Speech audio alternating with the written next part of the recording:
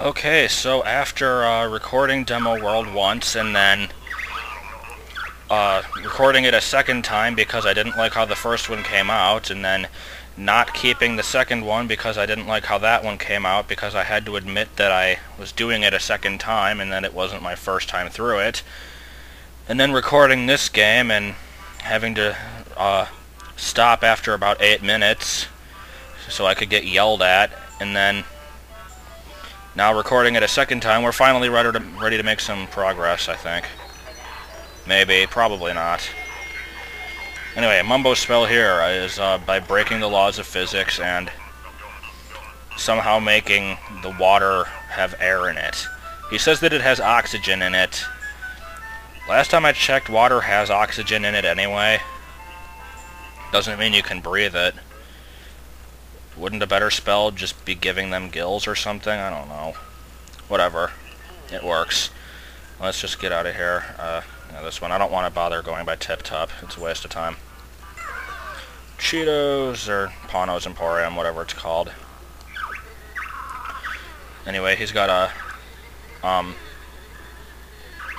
bagel. Yeah, he's got a bagel now. Nobody would want it except for us, but whatever, we gotta pay five doubloons for it. And then this happens again. Uh, sorry, I love that. And we get that, and then we're on our merry way. Last time I recorded this segment, it took me about five minutes to get this far. I don't know why. Anyway, before we head into Jolly's, there's one more thing we gotta do. So, head up on the... Do that, yeah. Head up on the roof. And do this. Anyway, there's just a couple things you can get by shimmying across the crack. Such as this delightful empty honeycomb piece, which I will never use and a sign with a worthless hint on it that just tells you that, basically. I know that it's a hint towards breaking open the wall in Mumbo's skull, but it, it's, I don't know, it, I hate it. It makes me angry. It's a stupid hint. I have no valid complaints today. I'm, like, totally burned. Don't know how I'm going to do a Dips adventure after this. So anyway, this is just a brief glimpse into Grunty Industries. We've stopped the feces from pouring into the pool. So now it's crystal clear, apparently. I don't know. Uh, over here, another contender for last Jiggy of the game. Unless you uh, do a glitch that lets you get it earlier, which I'll probably be doing. Oh, hey, look, it's the White Jinjo again. You can't fool me. I already got the white one. Let's get out of here. There's nothing else in this place except for sludge that I don't want to be walking around in. But yeah, um, that solves the balloon problem, but I've got a bigger problem. You don't understand a word I'm saying, do you? Balloon has enough air. thanks. Okay, I'll stop. That had nothing to do with anything. Yeah, you still gotta get it warmer, which takes an improbably long time to do. So let's just head into Jolly's. Cause some more property damage. Which you don't really need to do, but whatever. I'm gonna do it anyway, because I like blowing huge holes in the side of walls. And because people want it, here's the menu. Salty dumplings, toad in the hole, and Seaman's Surprise. It's everybody's as dirty as you want it to be. By which I mean it it's very dirty, because I'm sure all of you are going to read into it that way. Anyway, here is the most useless character in the game, which thus makes him the most important character in the game, according to theorists. Uh, he has no real purpose at all. But the fact is, he's surrounded by suspicious-looking paintings showing the pink Stop and Swap egg and the Shark Food Island from the first game. So, like, Anyway, he gives you a couple doubloons, which you don't need, which is exactly why he's useless. And he had a dream once, and a bear stole his glory. And what else? He was in this fine game. He just rambles that stuff, and you can never get a, get these things open either. They're just there to confound you. So anyway, yeah, people thought that there was some deeper significance to him. There totally isn't. This guy... I've got no words for this guy. He pretty much speaks for himself. And by speak, I mean going, old, old, old, oh, old, old, old, old. He, he just is the most fabulous character ever. Anyway, his partner got swallowed by a giant fish.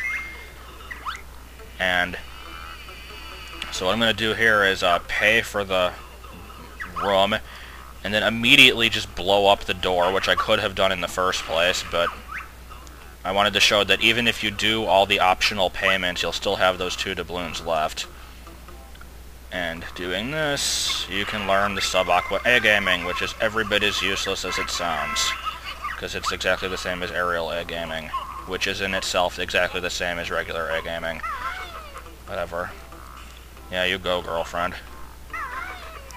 I have nothing to say about him because I can't make gay jokes. Like, I, not, I don't have anything creative to say. Anyway, let's finally head down into the lagoon. And I'm going to do most of the swimming in this in first person, most likely, because... Uh, okay, maybe not. It won't let me hold A and B and up, which makes you go down. So, swimming quickly and downwards is not really an option for me here. Anyway, uh, Shoot these thingies in the eye and you can get notes, hooray. Uh, this one just has eggs, I think. Yeah, just egg. What else is here? More notes. Hit it! Come on. There we go. Over here is a UFO, which I can't do anything with in the at the moment, but I will be able to shortly. I thought there was another one of these plants somewhere that had the treble clef in it. Maybe, I guess that's in a different room. Yeah, swim straight into it, why don't you? And, uh, there's two different ways you can go here. I don't think this is the way I want to go, but it's really hard to tell. Where is that other way out? It over here? Okay, that's the one I don't want to go in, because that's the narrow one. Never mind. So anyways, let's break out the ice eggs and actually do something useful with them by freezing the octopus. Because unlike Ecco the Dolphin, the trick here isn't to swim past slowly. You can either swim past very quickly, or you can freeze it.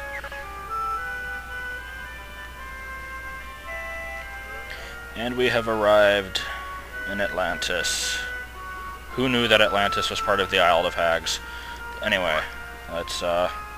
There's a bunch of places you can go here. I don't really have an order figured out. I'm just gonna kind of wing it. Anyway, there's the treble clef. That's probably the last of the notes for this level. I don't really know. There might be a couple more. Yeah, there they are right there. So let's activate the warp pad and do all of this in first person because I like it better that way. Let's turn off the aiming. There's a... No, I don't want to go in there. There's like a little opening in the side of this somewhere. Yeah, there it is. Has the empty honeycomb. And let's see. It's probably hard to tell where I'm going because it's just the really awkward way that I'm swimming around here. Kind of, like, um... Ah, but, uh, juking the camera all over the place. That's the word I was looking for. So, anyway, um... Let's just open up this door. Let's see, the pattern here is, I don't know my Greek letters, but it's pi, staircase, omega, staircase, triangle, triangle. Triangle's delta, but anyway. Pi, Don't know what the staircase is. I'm gonna guess epsilon, who knows. Well, a lot of people know, but not me. Okay, pi, then the staircase one was over here. Then, what was it? Uh, omega. Horseshoe, whatever you want to call it. Get up. And a staircase, and then two triangles. That didn't hit. Okay, you gotta listen for the little noise. Aiming is not my strong suit, I guess. Anyways, now that that's open, I can head in there. Which I will do next time because I'm out of time, so...